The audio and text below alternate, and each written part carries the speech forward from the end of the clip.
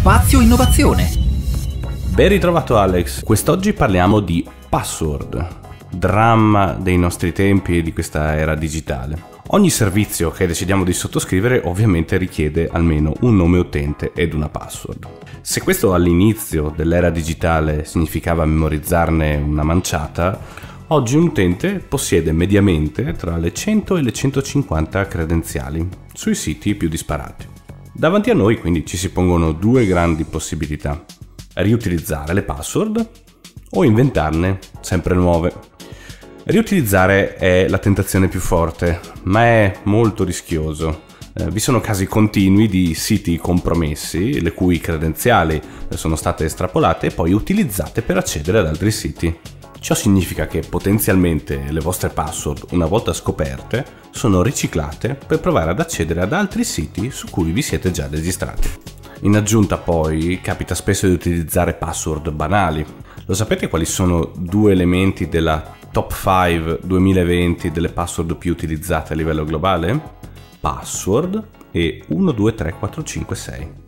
L'alternativa più sicura quindi è quella di inventarne sempre nuove, una password per ogni sito. Ma come tenerne traccia? Mentalmente ovviamente è impossibile, per cui il mio consiglio di oggi è quello di utilizzare applicazioni chiamate password managers si tratta in breve di suite di applicazioni che vi permettono di gestire grossi volumi di credenziali associandole al loro sito di appartenenza e compilando spesso per voi nome utente e password nel momento in cui vi serve.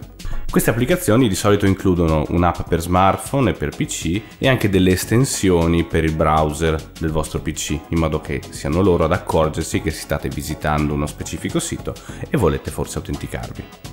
Ve ne sono innumerevoli sul mercato, ma seguendo lo spirito di questa rubrica, un occhio alla privacy, vi consiglierò due alternative libere e trasparenti. La prima si chiama Bitwarden, applicazione open source, la cui sottoscrizione facoltativa, tra l'altro, costa poco più di 10 euro all'anno e serve principalmente a sostenere il progetto. La seconda, se non volete mettere le vostre password nel cloud, si chiama KeePass, scritto KeePass e invece vi permetterà di gestire il vostro intero portafoglio di credenziali come un semplice file protetto e criptato che potete copiare e tenere con voi. Se proprio non volete utilizzare strumenti esterni, potete quantomeno cercare di dividere le password eh, in cosiddetti livelli di sicurezza, adoperando le più complesse il meno possibile, come ad esempio per l'accesso al conto corrente, e quelle più semplici e più diffuse per i servizi diciamo più frivoli come potrebbe essere ad esempio il forum della vostra squadra di calcio preferita. Poiché in questo caso conta il risultato più che il modo, resta sempre attualissimo la scrittura su un caro e vecchio foglio di carta. Mi raccomando però da custodire con gelosia.